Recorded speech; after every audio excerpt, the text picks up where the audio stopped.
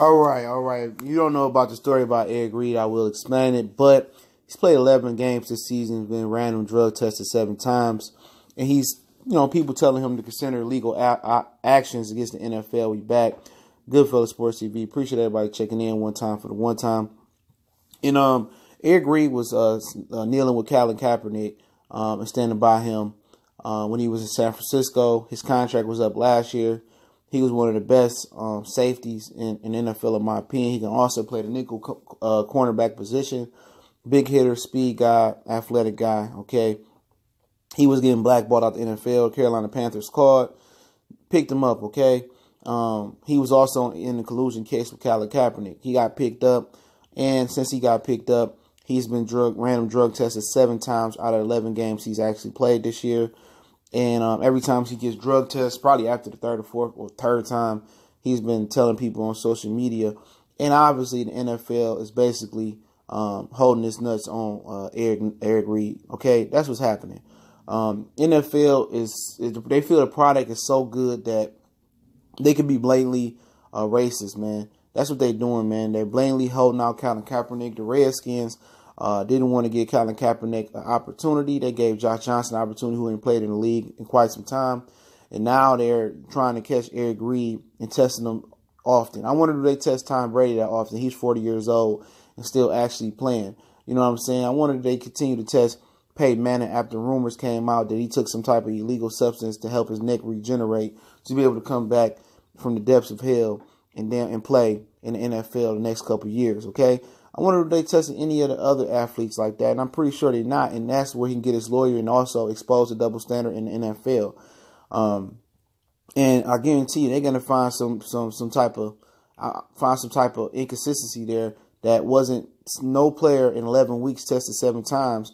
Uh, especially if there were a, a, a, white quarterback or a white player in general. I guarantee you, if he chooses to do that, you know, it'll be, you know, he'll find that out. You know what I'm saying? And that, that ain't totally random, bro that that is you know very very subjective. That's at their you know at their discretion, man. They test what they want to test, but that is what it is, man. This is just a direct shot to try to derail him and push him out the NFL and try to and suspend him and throw the book at him so they can catch him on some type of performance action drug. That's the reason why he ain't gonna get in the league. And he, you know, earlier this year he confronted Malcolm Butler and then explained why he confronted Malcolm Butler. Malcolm Butler basically tried to get, they tried they basically the NFL and NFL owners basically wanted uh, the uh, NFL coalition was Malcolm Butler and a few other players, and you know Eric Reid. Obviously, I think uh, Colin Kaepernick was part of the coalition as well. Uh, NFL owners sat in the room with them and wanted to pay them off, or wanted to do something to get them to stop kneeling for the product. So um, they said they weren't taking no money. You know, they want to put some money into the neighborhood or whatever happened. Okay, But then Malcolm Butler basically uh, came to Malcolm, uh, came to Eric Reid and the rest of the players like, how much money will it take for you guys to stop kneeling? So the NFL players, I mean, NFL owners tried to, they used Malcolm Butler as Stephen from Django. You feel what I'm saying? And, and paid him, you know, told him and paid him to get the ask the players how much money they need to stop kneeling.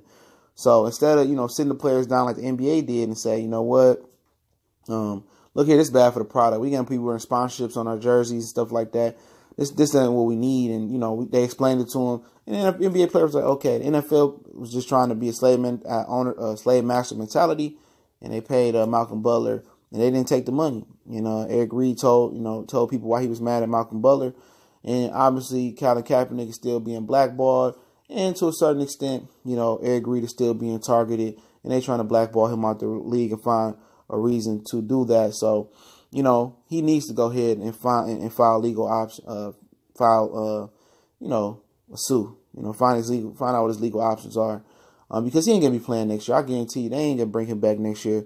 So he might as well get all the money he can get. I wonder where this collusion case is gonna go when these text messages and and all this stuff come out from the collusion case. But just wanted to bring that to light. He's been uh, drug tested seven times out of 11 weeks in the NFL he's played this year. And I think it's despicable. I think it's disgusting and the NFL is blatantly being racist and biased towards them. And you know, at the end of the day, man, it's a great product, man, but it's really turning me off. Not just that, they think their product is so good that they can change the rules where you can't hit, you can't touch no more.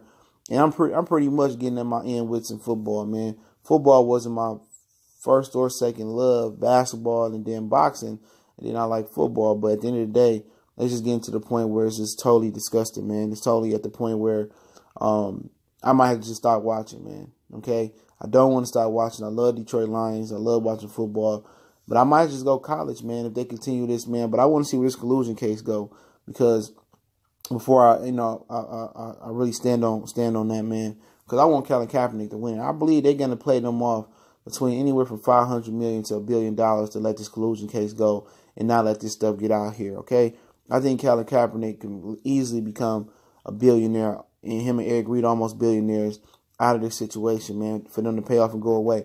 And if I'm them, I take it, man, because guess what?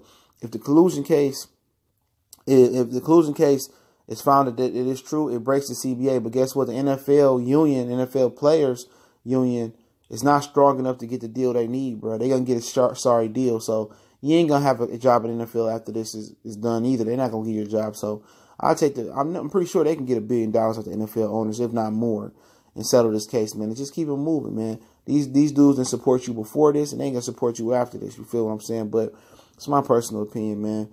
Uh, Goodfellas Sports TV. Make sure you check us out on Facebook and Twitter. We got a Facebook group. We tweet out every video, so you retweet them out. You screen share the videos, man. Just tell them where they can find the channel at. You want to make a donation to the channel as well. That link's there as well.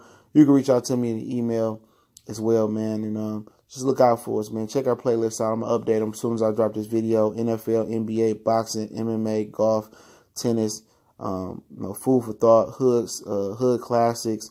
I mean, hood series, classic or not. We got plenty of uh, series, and I'll be rebooting the top of 2019 that you guys should like. But everybody be safe. Everybody check on somebody who lost a loved one. Hard time of year, man. Much blessed to all you brothers and sisters out there. Y'all stay up. One time for the one time we gone.